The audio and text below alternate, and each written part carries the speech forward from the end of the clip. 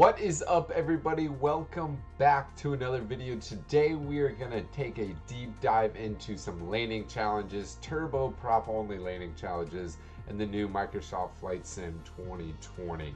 Now before we get into it, I do want to say I am not very good at video games and these landings are definitely not a direct reflection of my airline landings. So just because I'm an airline pilot doesn't mean I can land well on Flight Sim 2020. So this is going to be a turbo prop only landing challenge. We're just going to knock out a few. And if you guys enjoy the video, make sure you hit that thumbs up button and you're subscribed. We're on our way to 100,000 subscribers. Just crossed over 75 this last week and my goal is to hit 100,000 by the end of this year. And also, I know this is a little different from the vlogs on my channel. I am about to implement a whole lot of aviation vlogs, so that's really cool. For you that do not follow me on Instagram, in three days I'm taking my A36 Bonanza across country with another great friend of mine who's also an airline pilot, and it's just going to be action packed. We're going to land at some of the most challenging and also most beautiful airports here in the United States, including Catalina off the coast of California. So make sure you're subbed for that, and let's get right into it. All right, so let's go landing challenges.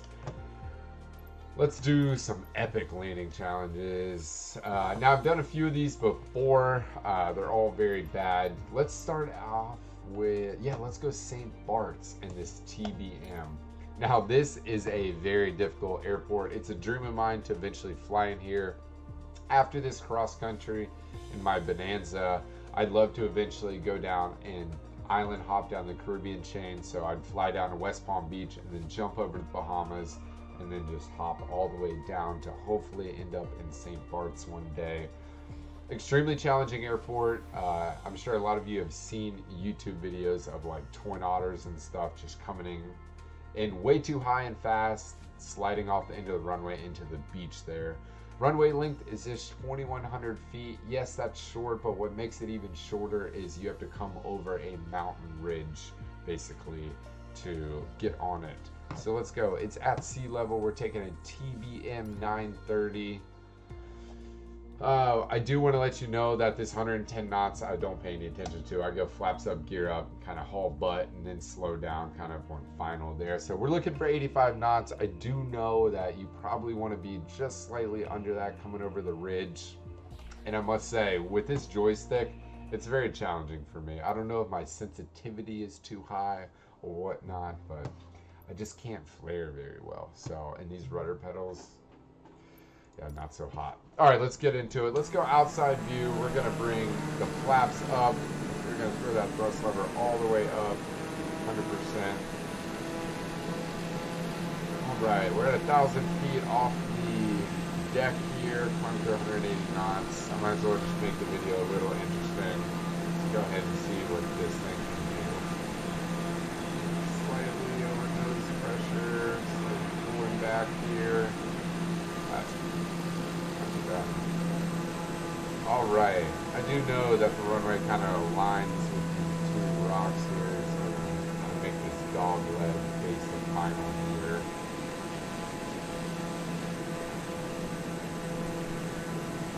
going to start bringing that thrust lever back. Uh, looks like this has a TLA lever here. Thrust levers get too low without the gear annunciator. We are really fast, so I'm putting this in a forward slip, full flaps. Now let me tell you, I'll never fly an approach like this in real life. Still fast, slightly high. This, is crazy. Gonna bleed off some airspeed holding that pitch up. There's our 85 knots, want to slowly start to get below it maneuvering over the hill, kind of dive bombing at the numbers here. Start to flare. Oh no. Oh no. Come on, baby. Sit down. Oh no. This is a go round for me. One in doubt. Go round. We're going to go laps here. Gear. Make a left traffic Wow, what a great start of the video there. Alright, flaps all the way up. I'll make this a tight traffic pattern.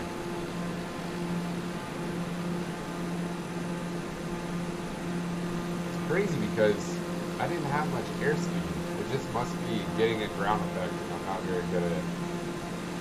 Kind of having a feel for flaring, so. It's only my, my third time playing this game.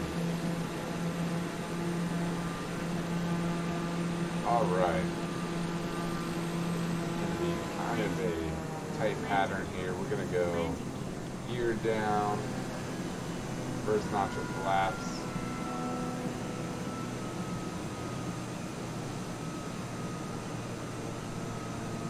How are we looking? Alright, face the final. There's a traffic pattern for you right there. I'm gonna go full flaps. Yeah, I know, I'm out of the white arc. I shouldn't be putting full flaps on right now, but flight idle, losing all that airspeed. Alright. Runway's just over this S road that goes up this hill. Eight knots slow, so I'm gonna add some power, ten knots slow. I want to be about ten knots below V right here, especially because I suck at flaring. All right, we are high, so we're gonna go power idle. I'm just gonna kind of try and. Oh my goodness. Oh my goodness. Oh goodness. All right. So we're gonna call this one bust. Nothing sounds better than throwing this thing in reverse thrust though. Yeah, that's gonna be like a score of. Okay, wow, I'm in the top 4,000. Okay, well, we already know what I did wrong there. So let's restart. Oh, wow, what a, what a beginning, right?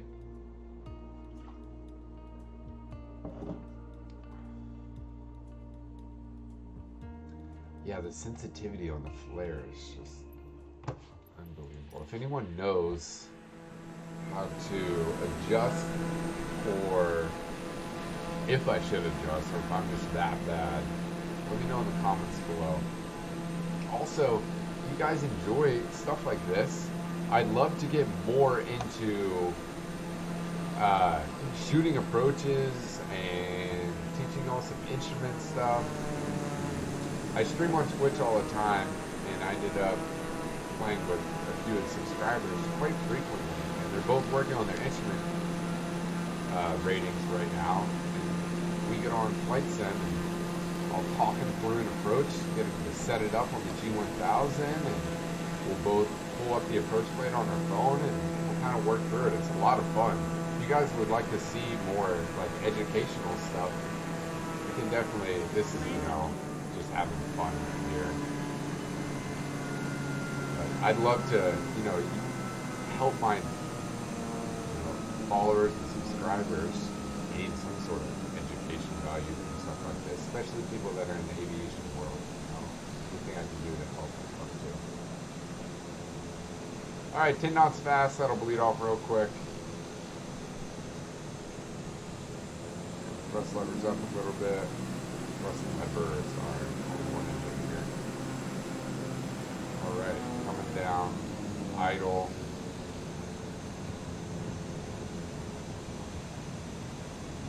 Come on, sit down.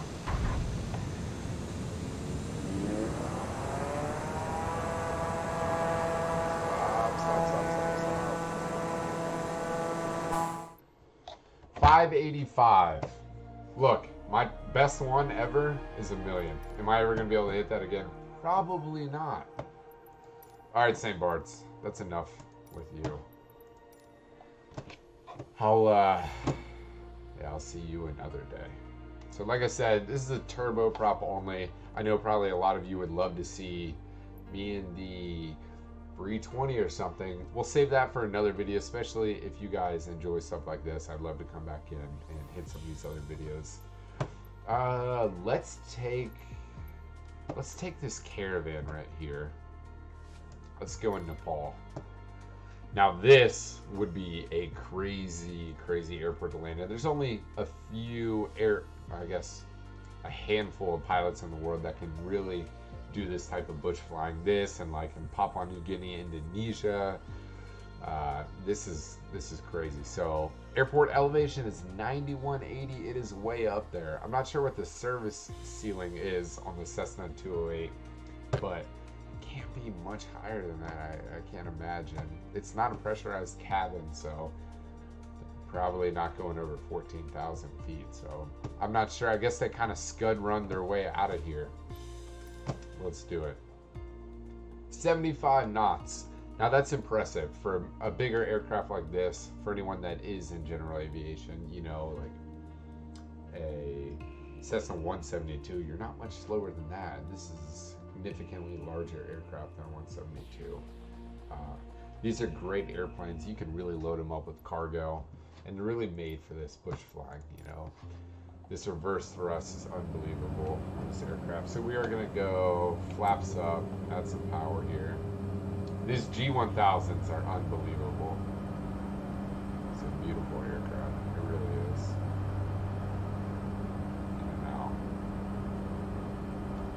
Alright, let's go outside view. Flaps up. Gotta make things interesting. Let's see how the caravan does on a barrel roll.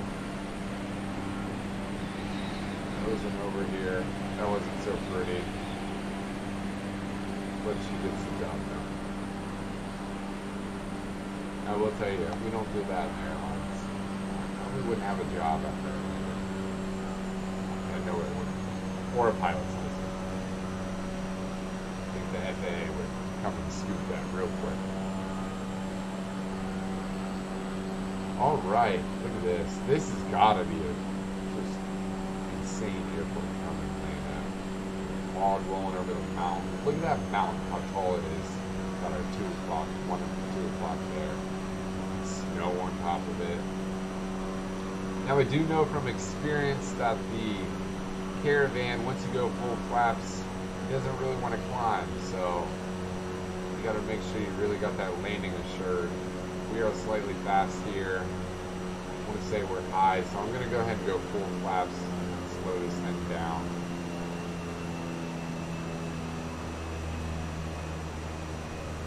75 knots is what they say. We're definitely going to look for a little bit lower than that. Approach angle looks good, only losing 200 feet per minute. Start adding some thrust. Okay, I kind of want to stall it right here on this. stall stall This might be really good. Okay. That was an ugly landing, but the score might be good. Nope, not that great. See, I've, I've 1.1 million. I got the leaderboard out of those two other subscribers that I play with. So that's cool. 853. That's not bad. You know what? We'll call it quits on the Nepal one just for that. I want to see if we can knock out a few more of these. Definitely uh, tricycle that one on. These graphics are unbelievable. Let's go back. Let's do maybe a famous one. Hmm. France. And a Bonanza. Here we go. Now we're talking. Okay, 2-2 right. We're landing 2-2 right here. Talk about a gorgeous approach. Runway length 9,000 feet.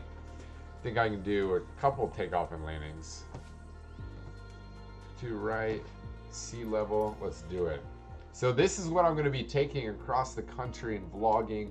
You're going to have all the ATC recordings, GoPros everywhere. It's going to be such a blast. I can't wait. We're just three days away from that. So make sure to subscribe to that. And also, while we're plugging, make sure you're following me on Instagram. It's also Fly with Garrett. Post on there daily. There's going to be a lot of behind the scenes on this trip. It's going to be a blast. I also own a flight apparel company, uh, a an apparel company called Flyt Apparel. It'll be first link in the description. There's a few items left from the previous launch. Got the biggest launch of my life coming up as soon as I get back. Stuff like the Henley tee will all be in the launch. All right, here we go. See, my Bonanza certainly doesn't have this stuff. Look outside. Brought the flaps up. Definitely don't have a G1000. Would love to have a G1000. But one day I am putting a Garmin G3X Touch in here. Uh, let's, let's power this baby up and get there fast. Talk about a long base final. I can't wait. I did just put a bunch of new avionics in. I put two dual G5s, which are essentially a miniature PFD. It's got your attitude, your vertical speed, altitude, your airspeed. And then just below that is a HSI, so that's going to have my CDI. Um, and then I also put a Garmin 750 in there, which I am just stoked about.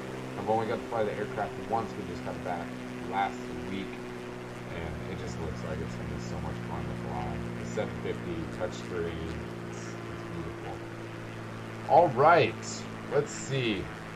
This is a G36. I'm not sure what the difference is between my A36 and the G36. Uh, it might just be avionics stuff. Of course, this has a beautiful paint job. Alright, let's go. First notch of flaps, gear down. We're obviously high and fast here. Got four white lights on the PAPI.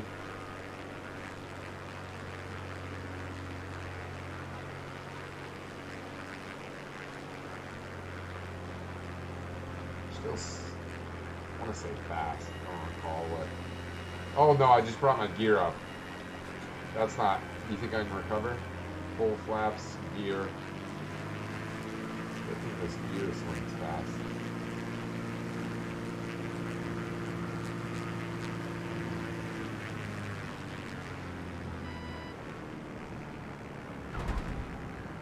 Come on, brake. Brake, brake, brake, brake, brake, brake. Center line wasn't so hot.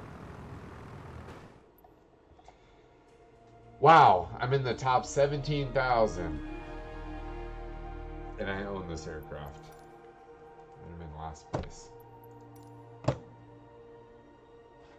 wasn't so good. Should I do that one, one more time? That one's not that fun. Let's see if we can find a better one. I forgot to do a barrel roll in the Bonanza. Oh. Where to? Where to? Where to? Let's see. Was there a third option? Strong wind? Alright, let's end on a strong wind. Sedona in a 150 or 152? Okay. Definitely up on a plateau here. Yep, it's 4,800 feet of sea level, 1.8 million.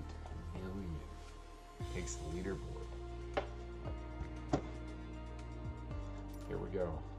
Let's see how much of a joke this is. 65 knots. It's crazy. They say 65 knots on a 152, but that caravan was 75 knots.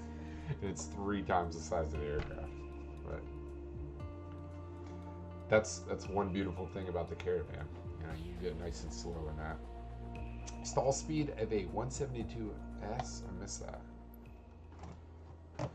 All right, here we go.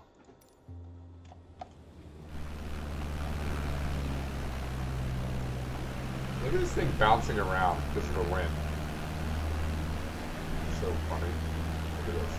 Let's see how fast we can get it.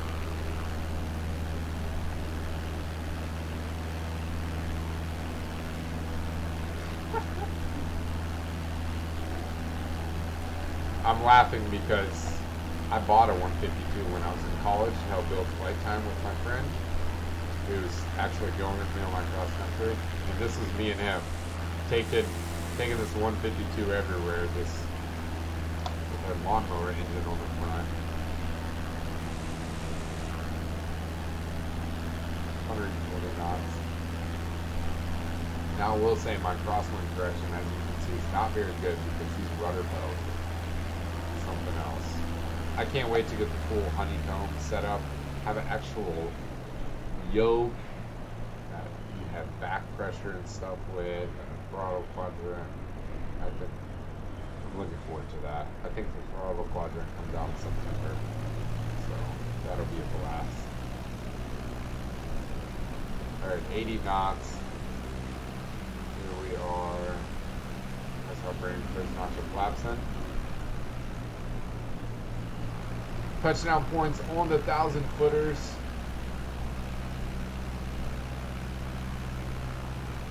Second notch of flaps.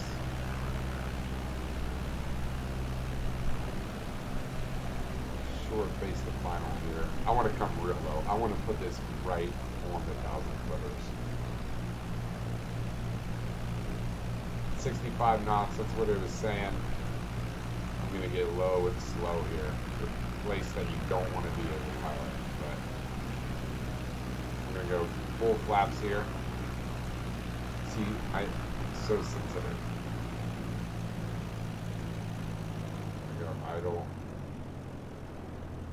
Oh, you you floated. I'm just. Oh, I'm gonna do it again. Put the nose down. Oh. That's called a balk landing. Except for you would normally keep going. Alright. Okay, let's restart. Come on.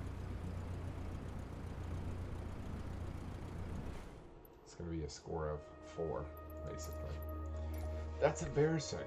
Let's not do that again. I tried doing a go round, but that's what happens when you have a lawnmower engine on an airplane.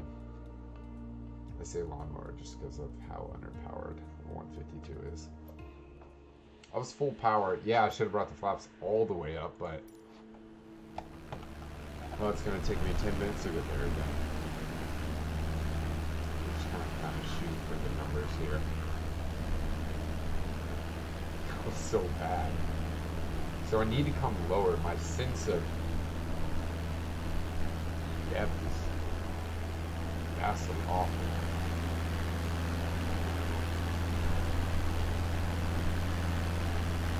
I tell you, doing 125 knots and 152 is something we don't see.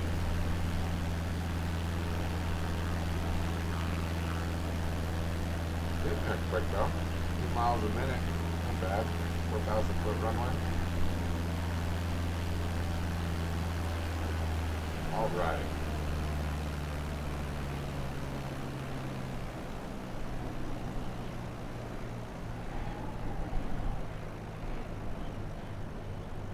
People calling me while I'm making videos. What are you doing?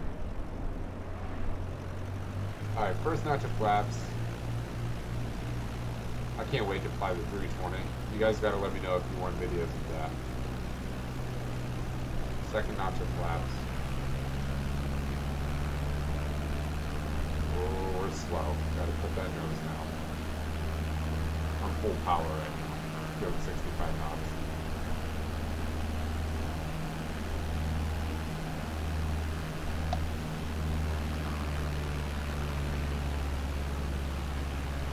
Flaps here. I gotta come way down.